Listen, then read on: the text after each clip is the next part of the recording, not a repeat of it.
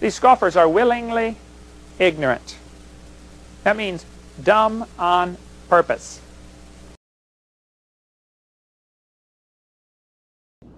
Pre-flood, things were different. I think there was a canopy of water that increased air pressure, which would make animals grow much larger.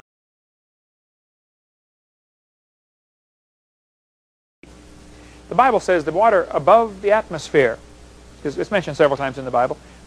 So, the first thing we notice is the Hovind theory isn't actually a theory. It's not even a hypothesis. It's not even a coherent idea. In the first instance, the Hovind theory is that water is in contact with and pushing on the atmosphere, while in the second, it's above the atmosphere and not in contact with it. Now both of these suggestions are demonstrably stupid, and like most of Hovind's willingly ignorant and dumb on purpose ideas, it's trivial to prove it. The first thing to be said is that the Earth and the solar system are essentially constructs of gravity. All the planets are spheres which are largely filtered by gravity. For instance, look at the Earth. The heavy elements, iron, sulfur, on the inside, and as you move to the outside you get to the less dense structures such as silicates, which contain lots of the lighter element, oxygen.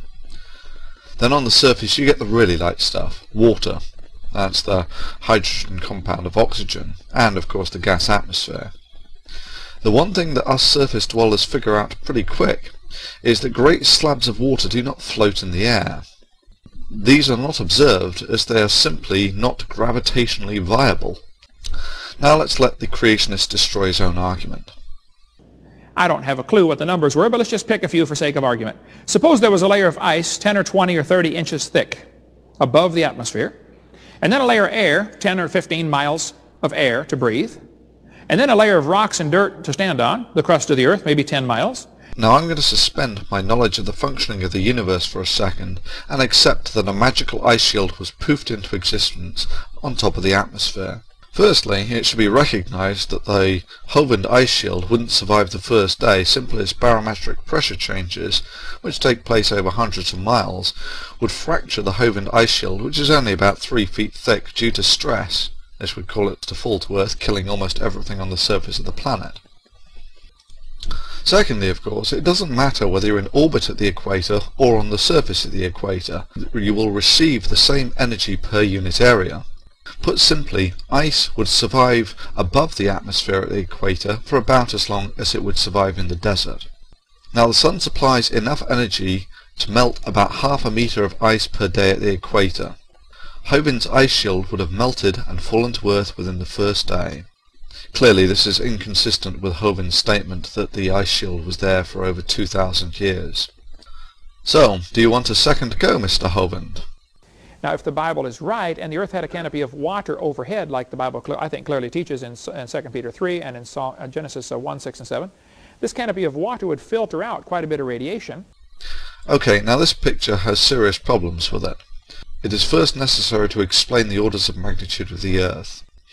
There is about 6,000 kilometers of planet, followed by about 5 kilometers of water, that's about the size of the arrowhead, followed by about 100 kilometers of atmosphere, that's about the thickness of the red line. On this scale, Hovind's ice shield is about 800 kilometers thick and is at an orbit of about 1,000 kilometers. Now these numbers are congruent with the expected melting rates of such a canopy.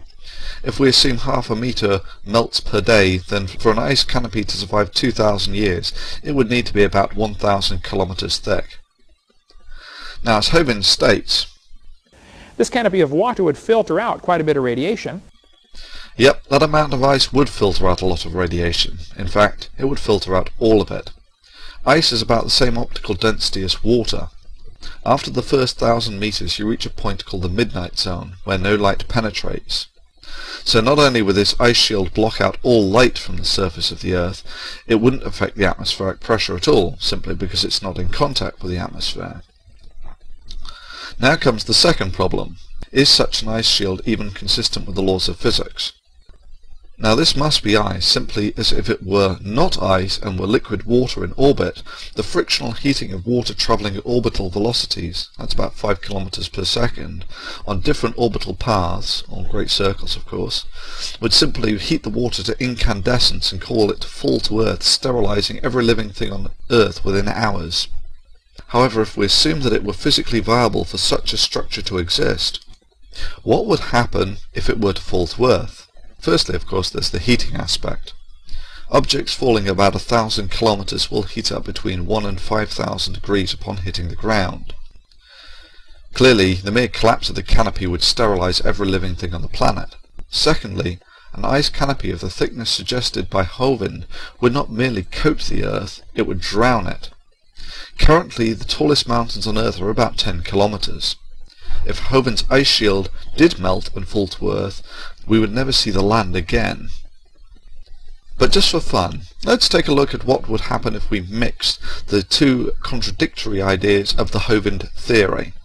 What if there were 800 kilometers of ice sitting on the atmosphere? Well, first it would compress the atmosphere such that it would be about one meter thick. It's about three feet. If we ignore the fact that at this pressure the atmosphere would liquefy, Noah and every other living creature on Earth would have vast amounts of gas dissolved in their blood. Basically, this means that on the collapse of the canopy, this is what would happen to Noah and every other living thing on the planet.